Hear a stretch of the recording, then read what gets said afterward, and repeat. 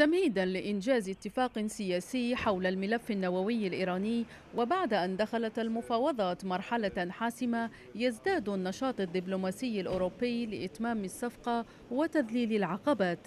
وهذا ما أكد عليه وزراء خارجية دول الاتحاد الأوروبي خلال اجتماعهم في بروكسل قبل ساعات من اجتماع أوروبي مع وزير الخارجية الإيراني في عاصمة الاتحاد.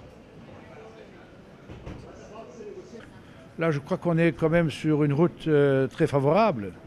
Euh, nous avons, euh, en ce qui concerne l'Iran, la volonté des États-Unis et aussi de l'Europe d'aller de l'avant, surtout de ceux aux États-Unis qui veulent vraiment avancer sur ce dossier. Et j'espère en tout cas qu'aux États-Unis, ce ne sont pas ceux qui à tout prix veulent éviter un succès du président Obama, Obama puisse casser cette mécanique. الأوروبيون يركزون كذلك على مجريات الأحداث في ليبيا ويسعون لإنجاح مسار الحوار السياسي مع بحث لإرسال بعثة أوروبية لمساعدة الحكومة الجديدة في حال تشكيلها وذلك للإسهام في ضبط الحدود ومنع الفلتان وتسيير الحياة المؤسساتية للدولة Uh, as you know, it's a crisis that affects uh, very much the region, but also directly the European Union, all of the European Union.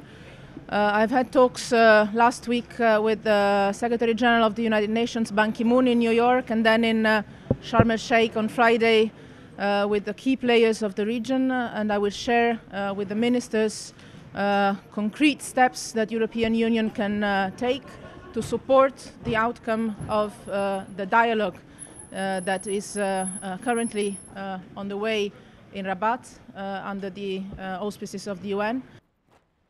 ولأول مرة ومنذ 11 عاما تتم مناقشة ملف الهجرة غير الشرعية من قبل وزراء الخارجية بعد أن كان الملف يناقش وفق منظور أمني داخلي كما أعاد الأوروبيون طرح فكرة قديمة بإنشاء مراكز استقبال اللاجئين في النيجر على أن تديره الأمم المتحدة وتدرس الملفات هنا قبل نقل من يستحق اللجوء إلى الدول الأوروبية. بين التفاؤل والتشاؤم بالتوصل لاتفاق مع إيران يؤكد الأوروبيون بأن الصعوبة تكمن في مدى نجاعة المراقبة الميدانية لما يتم الاتفاق عليه حول الملف النووي الإيراني.